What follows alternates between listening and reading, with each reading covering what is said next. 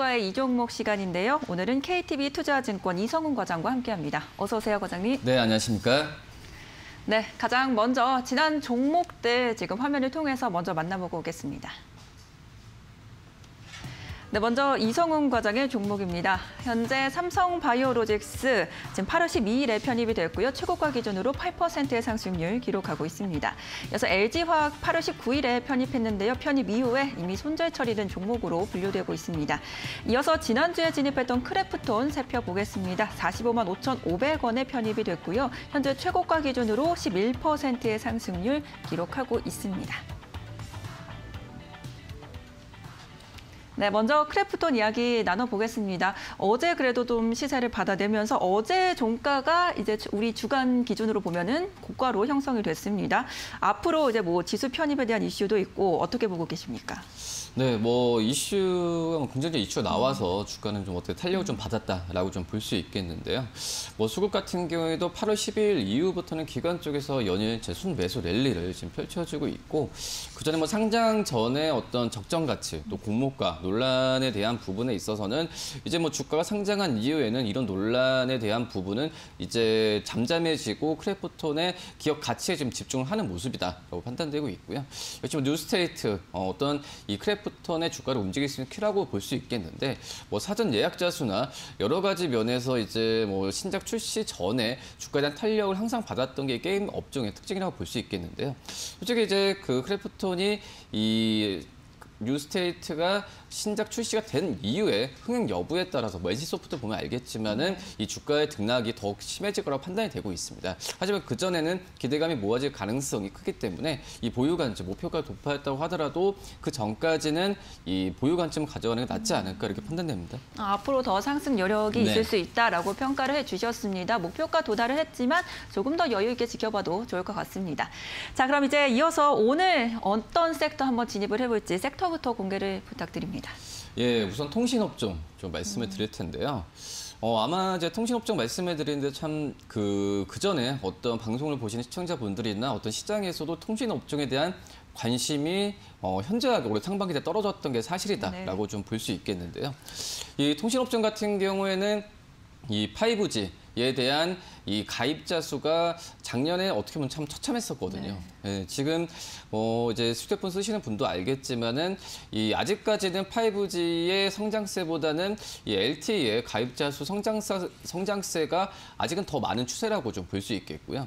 뭐 그러기 때문에 이 5G에 대한 가입자에 대한 부분 또 ARPU에 대한 어, 증가에 대한 부분이 예상보다 많이 떨어졌던 상태에서 어, 주가 흐름 같은 경우에도 참 지지부진했다라고 좀 볼 수 있겠고 이 통신업종 같은 경우에는 다른 업종과 틀리게 이 매크로 지표가 많이 없어요. 뭐 ARP나 이런 쪽에서의 가입자 외에는 어, 많이 없었다 없다라고 볼 수 있겠는데 그렇기 때문에 이 5G에 대한 이 가입자 증가 속도가 그래도 올해 상반기와 작년 한 해 동안보다는 높아지는 상태고 그리고 이제 핸드셋 어떤 전체 통신 인구 쪽에서의 비중 같은 경우에도 작년보다는 올해 상반기 때 올라가는 속도가 좀 빨랐다라고 좀 볼 수 있거든요.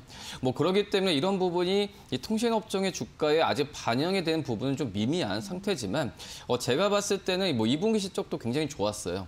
좋은 상태고 이 DPS 그러니까 주당 배당금 같은 경우에도 다른 업종 대비해서 어 상대적으로 높게 측정이 지금 되고 있는 상태이기 때문에 어, 이 정도 이제 배당주에 대한 이제 연말로 갈수록 배당주에 관심이 높아지는 시기 그리고 주가가 2분기 시도 잘 나오면서 현재 주가와 어, 이 실적과의 괴리감이 커지면서 저평가 매력 구간이 높아질 수 있는 구간에 판단되고 있거든요. 뭐 그러기 때문에 지금 현재 뭐 테이퍼링이나 금리 여러 가지 뭐 이슈에 의해서 이 어떤 이 민감주들의 변동성이 예상하지 못하는 상황이잖아요.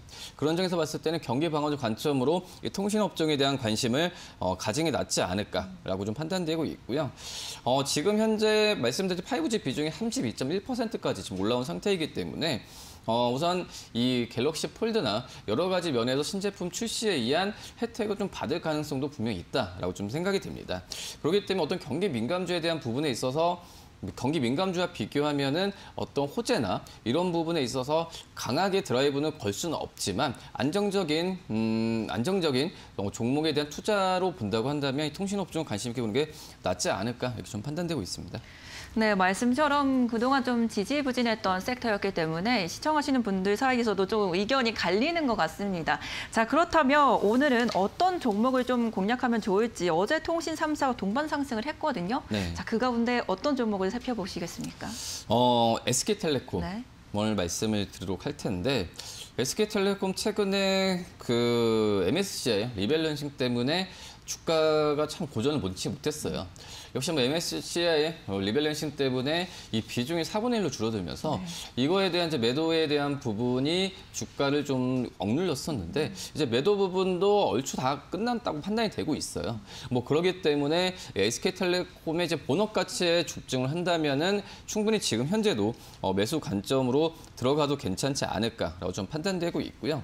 이 2분기 실적 본다고 하더라도 물론 이동통신 쪽에서의 실적도 괜찮았지만 뭐 미디어 그리고 이 보안, commerce 같은 어, 다른 고른 이 사업 부분이 고르게 좀 성장을 했던 모습을 보여준다면은 이 SK텔레콤의 어떤 사업성에 대한 부분 같은 경우에는 어, 지금 현재는 뭐 크게 무리는 없다라고 좀 생각이 되고 있습니다. 한마디로 그 전에 우려됐던 상황에 대한 부분에 있어서 시장은 오히려 좀 잠잠해지는 구조로 가고 있다고 판단되고 있고요.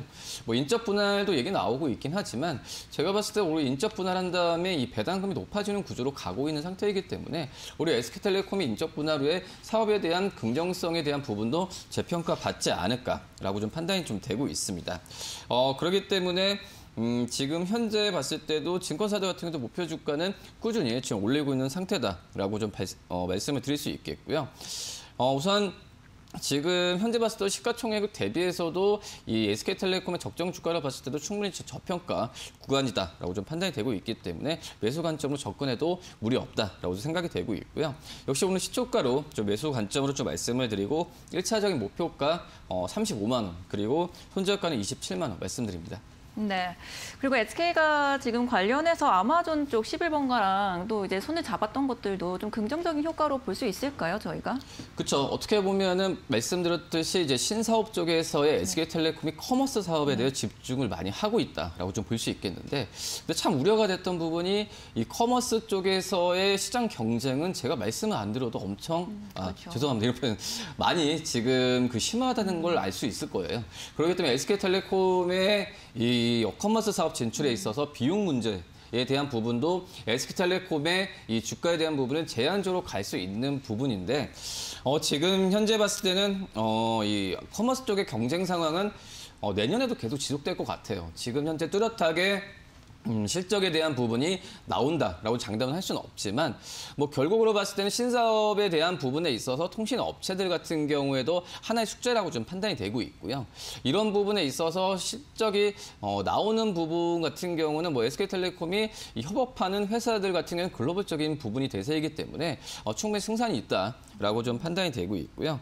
뭐 그러기 때문에 이 SK텔레콤 같은 경우에도 이 컨텐츠에 대한 투자 부분에 있어서 확대를 많이 하고 있는 상황이기 때문에 이 SK텔레콤의 commerce 사업 진출은 저는 제가 봤을 때는 좀 긍정적이다. 언젠가는 꼭 성과를 발휘하지 않을까라고 좀 중장기 실적 개선세 예상되고 있습니다. 네, 오늘 시초가에 공략할 종목은 SK텔레콤이었습니다. 지금 수급적인 부분들이 해소가 됐다라는 긍정적인 면 한편 체크를 보시면 좋을 것 같고요. 목표가 35만 원, 손절가 27만 원 제시해 드리겠습니다. 오늘 말씀 잘 들었습니다. 네, 감사합니다.